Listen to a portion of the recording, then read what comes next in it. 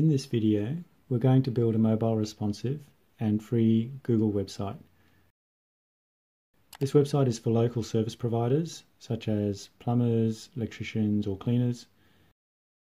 It will have a special feature of being able to click to call from your prospect's mobile phone. This site will allow us to capture our visitors' information to contact them back. But in this particular video, we're going to focus on the following two steps. In step one, we're going to create the header banner, and in step two, we're going to add the services. Let's start with step one, which is creating the header banner.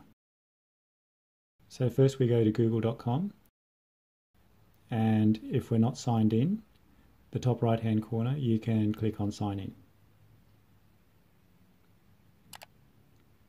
If you don't already have a Google account, you can click on create account.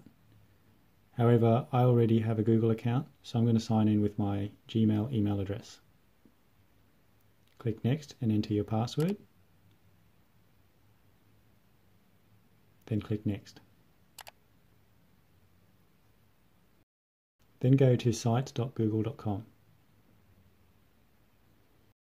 and you can click on Start a new site. This will start a blank Google website.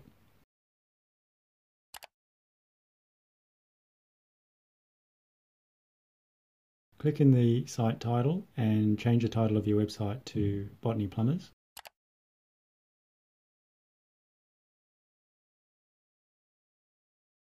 Click in your page title and change it to the title of your page. In this case, it's going to be Botany Plumbers.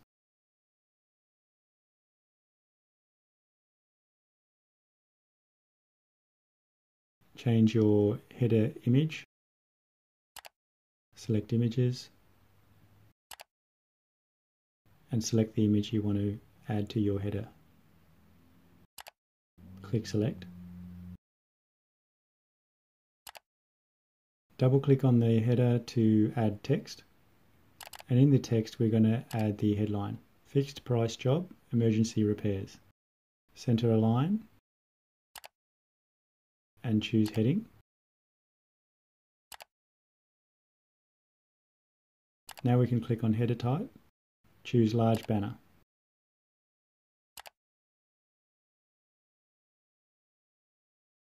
Now we're going to create the contact button. For this one, I'm going to open up a another page because I'm going to copy some text and paste that into the website. You don't need to know what this text does. You just need to know to copy and paste it and to change the phone number.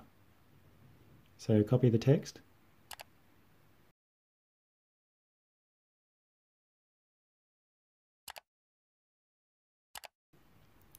Double click the header and choose the two yellow diamond brackets. Click on embed code and paste the text that you have copied into that text box. Now you just need to change the phone number to your phone number. Change the phone number and click next. Click insert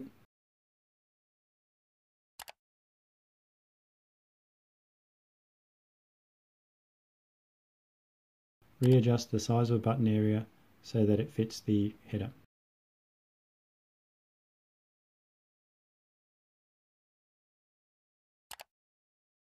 Step 2, we're going to start creating the services panel. For the services panel, we first need to get the images and we're going to start by going to google.com and we're going to search for plumbing icon set free vector. I'm going to use this one. Click on the image. It'll bring a bigger image up on the right. Let's click on that and click on download. Click on free download and you'll be able to download a zip file. Click on save.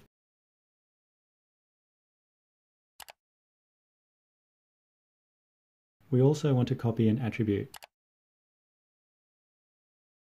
What we do with this text that we copy is we paste it into the website in our About Us page so we can attribute where we got this image from. This is what the creator has requested.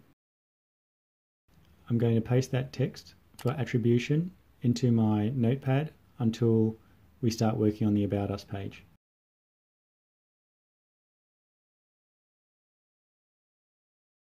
Let's close these unneeded tabs.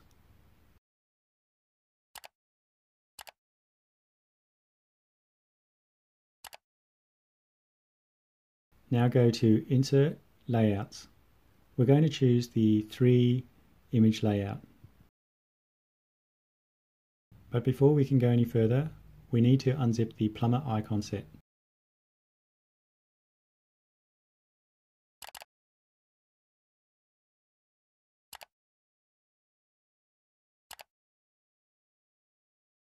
Now let's go back to our notepad. And I'm going to click on the link to PicResize. The reason we want to resize the picture is we need to cut the icons out for the ones that we want to use in the image. You can just upload the whole icon set and just show the part of the icon set that you want to show. However, that slows the website down because the image size is quite large. So what we're going to do is we're actually going to cut out the icons that we want and then we're going to optimize it. So go ahead and upload the plumbing icon set.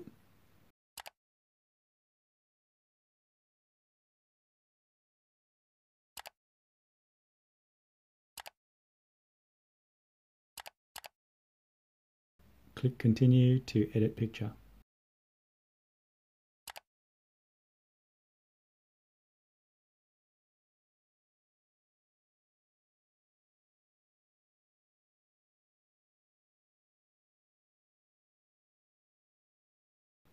Now you just need to drag your mouse pointer over the icon that you wish to cut out.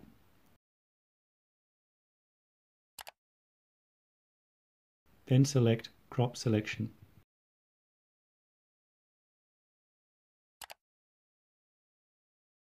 And we want to resize the picture to a custom size. The custom size we're going to choose is 500 width and 500 pixels height. That's just what our website requires.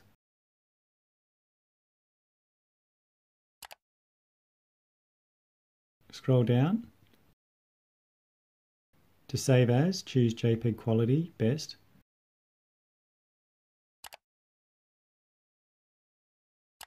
Then click I'm done, resize my picture.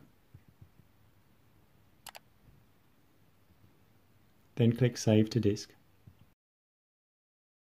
I'm going to rename the file name so that I recognize which icon this is. In this case, it's unblock toilet.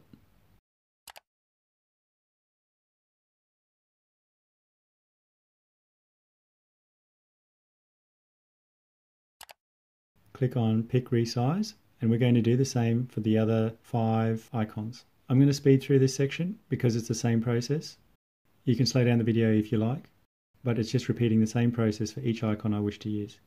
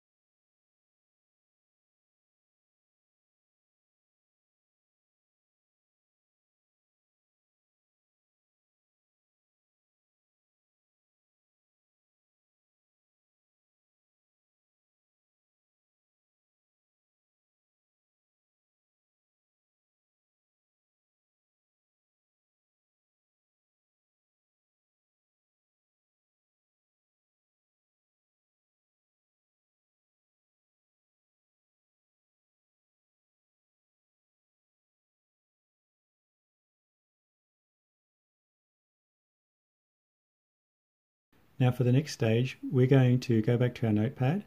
I'm then going to click on the link imagecompressor.com.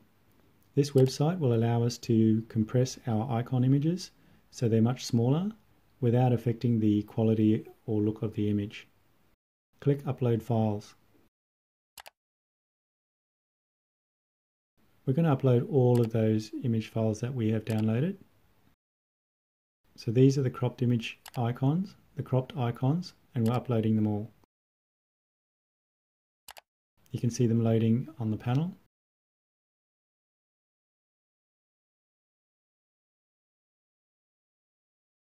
Now, what you can see here is the original icon image was 100 kilobytes. Then on the right, it's been compressed by 86% and it's only 14 kilobyte.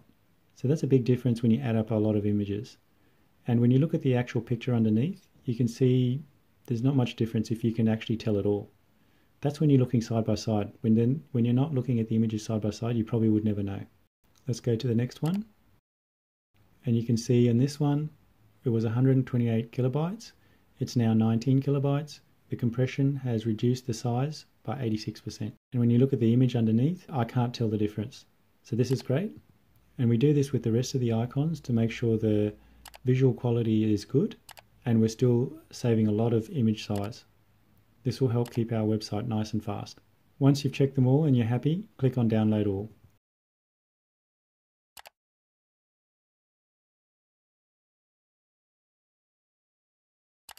You will download a zip file that you'll have to unzip.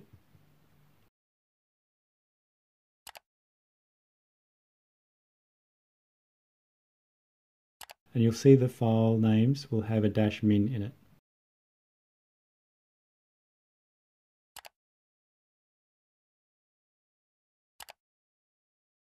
Now we can just add those icons to our layout.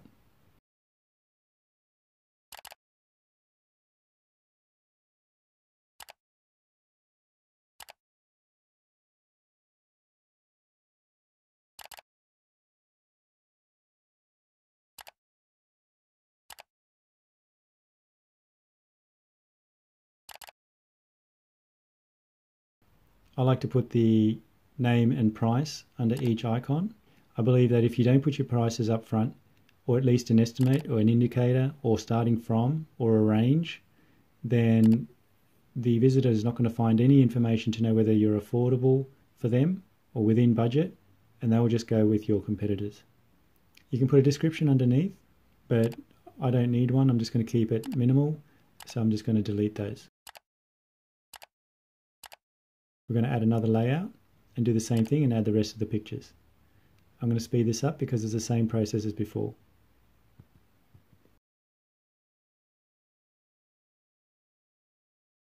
Enter the name and prices of your services, then delete the descriptions.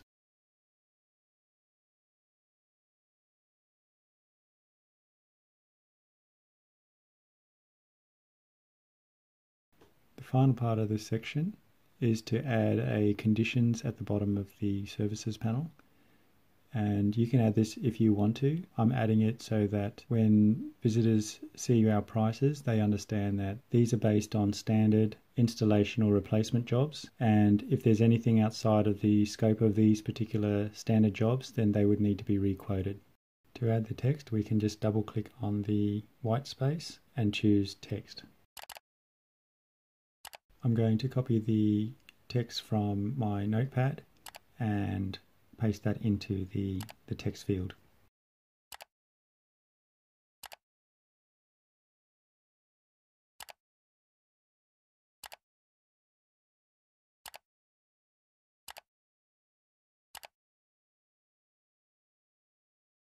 Center align.